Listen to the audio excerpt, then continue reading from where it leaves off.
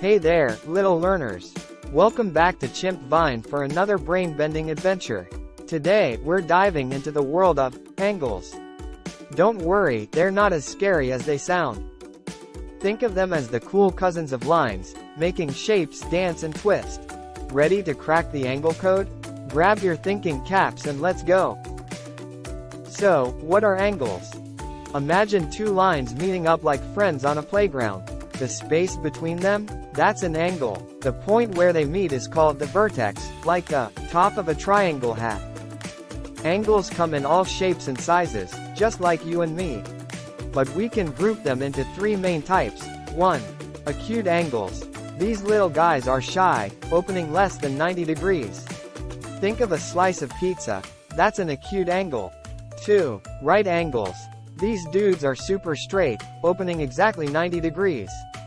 Picture a superhero standing tall. That's a right angle.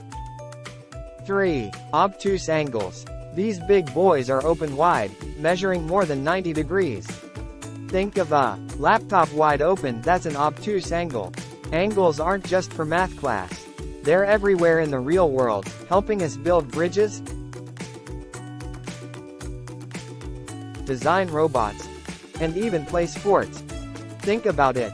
A soccer goalpost needs two perfect right angles, while a skateboard ramp uses a combination of acute and obtuse angles to give you that awesome ride.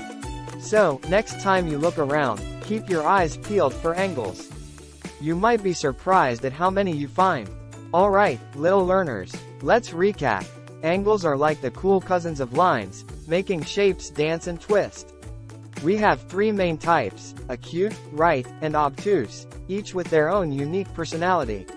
Angles are everywhere, from your classroom to the playground. Remember, learning can be super fun. Keep exploring, keep playing, and keep conquering those angles with Chimp Vine. Until next time, keep learning and keep smiling.